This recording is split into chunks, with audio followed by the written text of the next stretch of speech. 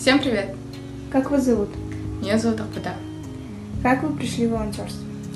Я пришла в волонтерство благодаря маме. Она мне подсказала эту работу, и я начала работать.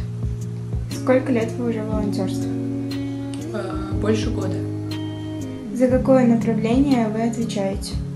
Я э, отвечаю за, за Что входит в ваше направление? Животные. Можете побольше рассказать о своем направлении? В зоонаправлении мы ходим в кота-кафе. Там посещаем вот это вот кафе. Это как зоопарк. И мы, так скажем, кормим животных. Один интересный факт из вашей жизни. А, Я живу в Караганде и каждый день сюда приезжаю ради любимого. Почему вы выбрали именно зоонаправление?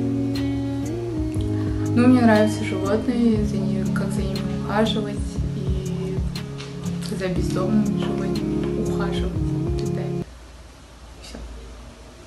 Спасибо большое, до свидания. Всем пока.